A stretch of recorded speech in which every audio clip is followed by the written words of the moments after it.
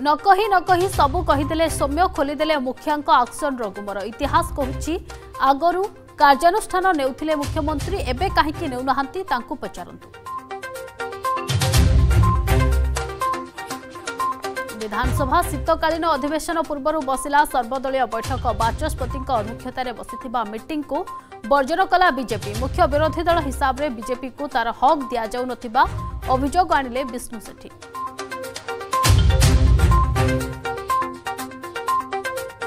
ଲୋକସଭାରେ ପାସ୍ ହେଲା କୃଷି ଆଇନ ଉଚ୍ଛେଦ ବିଲ୍। ଗୃହରେ ବିଲ୍ ଆଗତ କରିଥିଲେ କେନ୍ଦ୍ର କୃଷିମନ୍ତ୍ରୀ ନରେନ୍ଦ୍ର ସିଂ ତୋମାର। ବିରୋଧୀଙ୍କ ହଟ୍ଟଗୋଳ ମଧ୍ୟରେ ତିନି କୃଷି ଆଇନ ଉଚ୍ଛେଦ ବିଲ୍ ପାସ୍।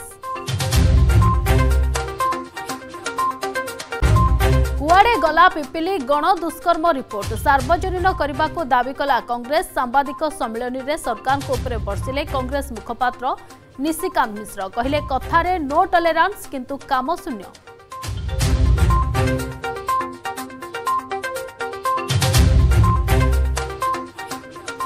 ରାଜଧାନୀରେ ମର୍ଡର ପୂର୍ବରୁ କଣ୍ଟ୍ରାକ୍ଟ କିଲର ଗିରଫ ଘଟଣା। କଣ୍ଟ୍ରାକ୍ଟ କିଲର ସମ୍ପଦ ସାହୁଙ୍କୁ ପାଞ୍ଚ ଦିନିଆ ରିମାଣ୍ଡରେ ଆଣିବ ପୋଲିସ। କୋର୍ଟରେ ଆବେଦନ କଲା ନୟାପଲ୍ଲୀ ଥାନା ପୋଲିସ।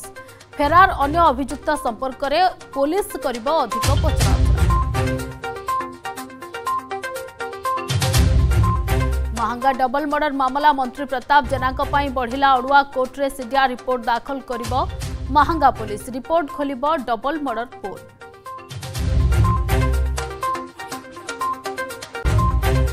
जाल में ब्रह्मपुर थाना कनेस्टेबल आय बहिर्भूत संपत्ति ठूल अभियोग सुदर्शन बासभवन में चढ़ाऊ घर नगद पाँच लक्ष षोह हज़ार टं जबत गोंजाम तीनोटी स्थान में एककालीन रेड जारी